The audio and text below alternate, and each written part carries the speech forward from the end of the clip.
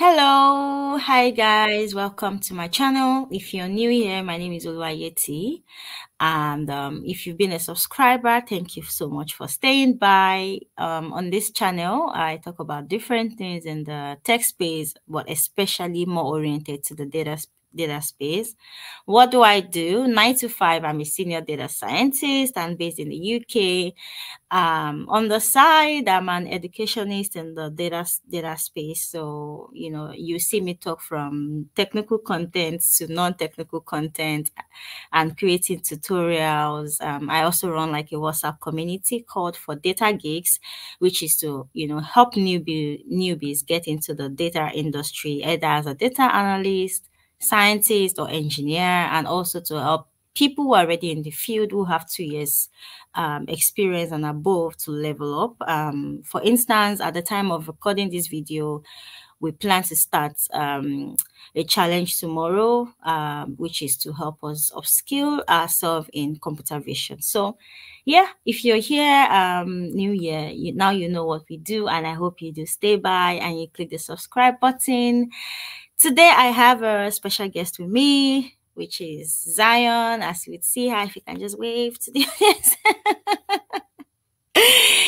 Zion, popularly known as Z Smart, because yes, she's pretty smart, very smart. Yeah, one of the smartest people I've met. So it's indeed a pleasure to host her. And um, the topic that we're going to talk about um, in this video is quite controversial because I've seen a lot of people create content and categorize data analyst as a non coding role. Maybe if that was said two years ago, I would agree, but um, time has changed and the skill set has also evolved for different roles. And I believe that coding skills are required for a data analyst, especially knowing some bit of Python programming. So here I have Zion who is going to introduce herself. She's a data analyst.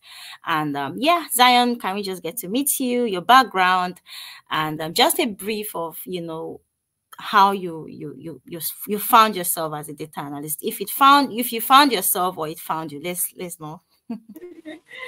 All right. Hi everyone. I thank you for the opportunity of sharing my story. Um, I'm Zion by name, and um, I studied computer engineering. I have um, over two years experience in data analysis. I'm currently a data analyst with FundAll. So um, the journey into data started in 2020, where I was rounding up with my undergraduate degree, and I needed clarity as to you know the path to take. And thankfully, I met a mentor which is Yetty, and she guided me. So originally the plan was going to data science, which is still the plan. But along along the way, I got interested in into um, got interested in data analysis. analysis. I got interested in data analysis and I I ventured into it. Awesome. Thank you so much. I like that she said you are still on the path for data. I would not even allow you to settle for less. yes, yeah so this is not yeah this is not to shade anyone who have decided to settle for data analytics but i know how she started her journey at least i'm private to that journey. So i know that you know data analytics is the starting point for her. There is more for her to do beyond yeah. that so yeah i'm glad to to hear that yes. Thank okay you. so um how did you find yourself at FundAll? And what do you do at FundAll? Like, what's your day to day activity, or you know, what do you do from nine to five?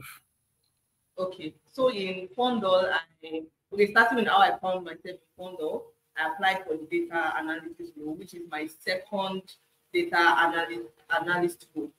So I applied for the job, I got in, and basically I do reporting, I do um, predictive analysis.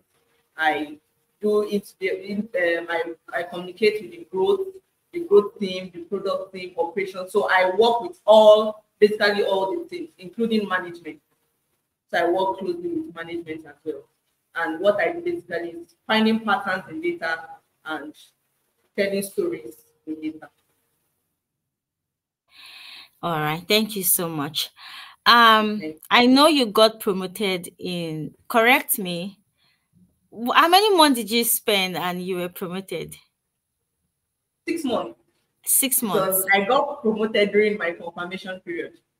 Wow, that's that's really yeah. No, no. I, yeah. Honestly, it's a proud moment for me. Anytime I think about that, that's that's Thank really mind blowing. That's really yeah. mind blowing. Yeah, and I, I'm sure that another one is on its way very soon. Definitely, yeah. okay, so what were your skill sets um at the time that you applied for this particular role like if you list the, the technical skills that you require in terms of maybe the the tools that you you knew the programming language that you knew before you applied for this job yeah all right so before i applied i had um, knowledge of um, python power bi excel and um, sql but my strongest skill set at that time was python and that was my major advantage. Wow, that was your major advantage. I'm yes. glad to hear. I'm glad to hear that. Wow, I actually, to be honest, I didn't know. Um, I, I, I had thought that um, you know, it was Power BI and SQL and Excel oh. that took you there. That it was maybe when you now I knew you were learning Python, but I didn't know that it was something that you actually you know, if you get what I mean, was something yeah. that you use as a card to to play forward your skills. Okay, okay. I think that brings me back to what I said before we started recording. That I had someone exactly. who had gone for a boot camp without Python, and he was telling me that you know he he wanted to learn Python now, even though he has gone for a data analytics boot camp. He realized that he needed to learn Python to upskill himself to apply for jobs. So I'm glad that you actually mentioned that. Um, was there any skill set that you picked during like you didn't have before you know you you started this role, but you had to pick up um, you know, during the course of the role? I don't think there was any. I just had to build up. So there were some skills like Power BI. I was not really using them on a day to day. But since I you know started my role in FundAll, I've been building dashboards literally like as as often as as possible. But I had knowledge, I had the basic knowledge before I got into the role. So most of these skills I built, I just just a continuous learning on the job. Okay, all right. So nothing has really you can't say like, oh, maybe because let's say I'm trying to think of some like maybe you are required to pick Azure, for instance. okay, no, fair enough, fair enough. All but right. the only the only thing that would just be like an advancement or a new learning in this role is um, building models. That would be like the next phase for my job. I see. Okay. Yes. Okay, so could you talk about how Python has enhanced your efficiency um, as a data analyst? And if possible, um, you know, leaning on that question, if you could provide uh, like examples of tasks or projects where Python like played a crucial role in your analysis or in your report writing or in your decision making process. All right, thank you. So like I said earlier, you know, I mentioned that um, Python is my strongest skill set. So I yeah. started learning Python before I picked up other skills. So I yeah. find it easier to actually do visualization, you know, to to walk around to walk around tasks with Python. So whenever I'm giving a task, and especially when it's not so much, I just I just speak Python as my first because most times the skill will not be the, the, the tool will not be specified. All the management ones, all the what your line manager and everybody needs is just for you to do the task. So I will give an, an instance of um, so there was um, a, a, an analysis that was supposed to be done to um, the growth team. So there were some complaints, you know, social media and like, and we just wanted to get the reviews of our customers wanted to know okay, how they felt about our our you know our product. Your service, and yeah. They told me oh they needed this analysis yeah, exactly. So they needed this analysis as quick as possible. And I knew that okay with Python I could do um, scraping I could do scraping and you know for sentiment analysis. So I scraped the Google app, um, the, the Google Play Store review and did the analysis, wow. gave them the word cloud, and it was done. It was less than an hour. I got, wow. Yes, I got it out. So if if I was to do it on Power BI, it would have actually like I would have struggled a bit with it. But because I'm already familiar with Python, I know that there's something like web scraping, and you know, I just I got it done in, in less than an hour. Wow, you deserve that promotion. I mean, who will not promote somebody that is as efficient as that? you know, wow. Wow, that's really interesting because I'm thinking of people who are of the side of you don't need Python, and I'm trying to. I, I mean, this is this is not because I'm trying to. The Python is open source, so they are not even paying me for saying you should learn. you should learn Python. Nobody's paying me to say advertise Python, right? So I'm just because I'm just curious, and I'm trying to think of skill. This, you know, I, I'm not familiar with Power BI because you know I'm more tilted towards the data scientist side, and if I even want to do analysis analysis or build dashboards or whatever, I, I go with Python basically. So I'm just thinking like, can Power BI do I know SQL cannot even do that because that's just a query language. But can you use Power BI to even scrape? I don't think that's possible to scrape a website. No, no, I don't. I, don't. I don't. Even felt, I just even felt think the timing is very important, and this is a tool that can get it done. Like you don't so need to fast. spend so much time on it. Yes, it's very fast. Hmm. Very fast. Yeah, yeah, I agree. I mean, this is even a good time to say, you know, I have a video on using doing web scraping with Python. So I'll probably, you know, link it up in the description or just put it somewhere in the video because, yeah, it just came to mind. I actually did a video on um, like a, a workshop on web scraping with Python because I felt like that was something that a lot of people would need. I'm glad to just know that you know that was something you had to do during the course of your work. Yeah yeah. I, I, I mean thinking about it i'm trying to think of an alternative to python that would have done what you did but honestly i can't find. And i mean this is this is the beautiful thing about you know knowing python as a data analyst. So my next question would be in addition to python were there other you know programming languages or tools that you that you think a data analyst should know um, and if so, um, how do you how do you think this other tool um, complements um, Python, like based on your experience? So far in my experience, I've not had any reason to use any other programming languages. You know, okay. because I really don't do high level, like still just at the basis of visualizations for now. So I really don't do high level. So for now, I'm just most familiar with Python. Okay, all right. Okay, that's fair enough. Because yeah, when you know Python, you are just good. no, I love that language. Oh my god. And I love it too. People may think, I mean, for me, people may even think like maybe that's the only language I know or that's my first language. No, Python was is my fourth programming language actually. And i'm sure even for you even for you i don't think python is your first programming language right? I don't know if i'm right. Yeah it's not. So it's not like yeah we just python and we just no no. Python is my fourth. I've i've i've learned did i say fourth? Yeah fourth actually. You know i've learned like java and then i moved to javascript heavily. Like i did a lot of heavy javascript. And then from javascript to um, ruby ruby ruby on rails as well and then python you know and it was even data science that made me because then you know i was doing software development and all that before i transitioned so that was when i did all those other languages but once i came when I started my journey to data science and I saw, I said, ah, why did they tell me? Python is just too sweet.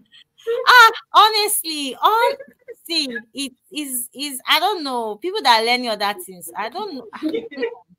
I just love Python, Sha. So I think I think let's just put it that way. So my last question will be considering like the evolving you know landscape of data analysis and the emergence of new tools and different technologies, are there ways that you stay updated with the latest developments in Python? That's yes. that's the other part, and then I'll ask the other parts, um, the part B of that question afterwards. Okay, so um, to stay updated, I actually um, liaise with other data analysts in the communities. So I look out for what other people do. So just recently, that was on Sunday, I started a meeting with the top fintechs just to get the updated information of the tools they use and and, uh, um, and I, also, I lost you. I lost you for like 30 seconds. If you could repeat, like on Sunday, you met with someone. Yes, I met with a, a data analyst, one of the top fintechs. Oh, nice. So just to get an update on how the analysis is done. I just felt there was a way I could do better with my reporting. So, hmm. and you know, gave some tips on how it's being done, the tools they use. And aside that, I also, you know, just that randomly read, read, just read some articles and say, okay. And then I, I asked, also check for top data analysts on LinkedIn. I just go through their licenses, their certifications, you know, read through their posts just to pick one or two things that would make me relevant in the field in the field. Nice. That's that's really brilliant. I i agree with that. Like that's something that's because one of the thing with the tech space is that it's constantly evolving and you just be left behind if you don't evolve with that you know with the tools and the changes required.